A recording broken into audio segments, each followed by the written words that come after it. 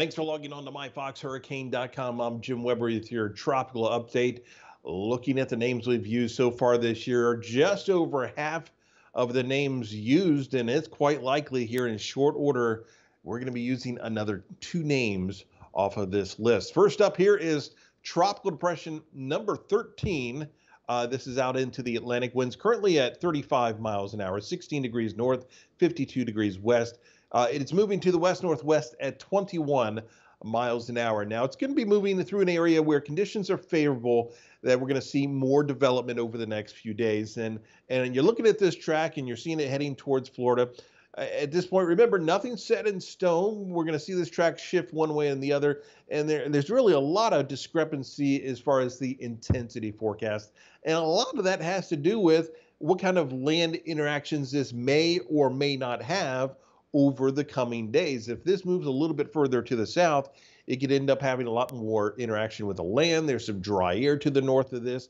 Uh, does it pull some of that in? So the structure of the storm will help to determine exactly how strong this gets. So the takeaway at this point is you just have to keep in the back of your mind that we we're, going to have a tropical system working its way towards the west. It could be very close, uh, if not affecting parts of Florida as we get into the first part of next week. And there's that possibility, certainly, that this could be a tropical storm or a hurricane moving over the state as we get into next week. So you look at the computer models, and there's pretty good agreement among these various computer models as far as that track. Now, remember, there's two parts of this. We're talking about the forecast track, we're talking about the intensity. So we have fairly good consensus in that forecast track.